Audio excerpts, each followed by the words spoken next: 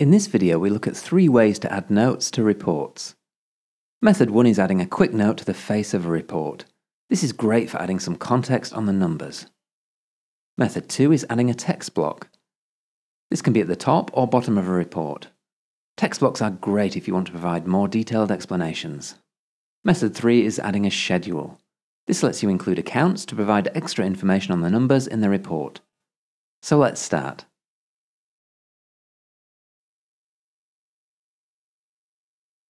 On a report, click Insert Note and enable Add Note.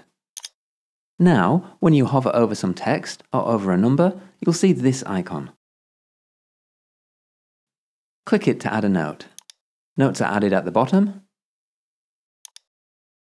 Click on a note to preview it. Click Insert Content and add text block. Decide if you want a heading or not, and if you want the heading to be numbered. In this example, I'll add a brief commentary about this report. There's some basic formatting options here. When you're done, you can click this overflow menu if you want to move the note up or down, or delete the note. Here I'll move it up, and again to the top.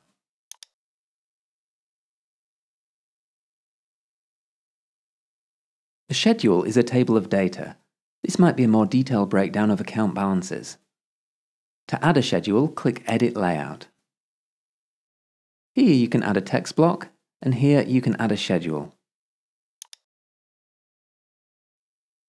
I'll call this Office Costs. Click here to add some accounts.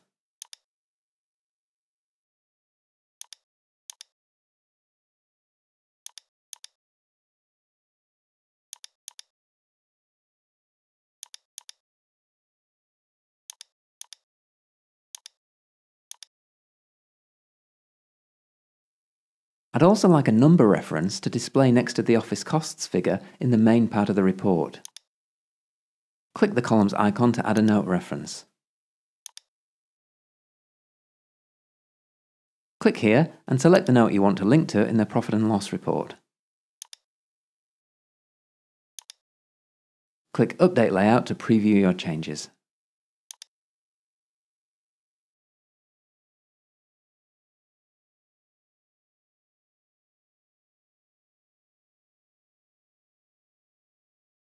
Check out some of my other videos in this reporting playlist to learn more. Thanks for watching.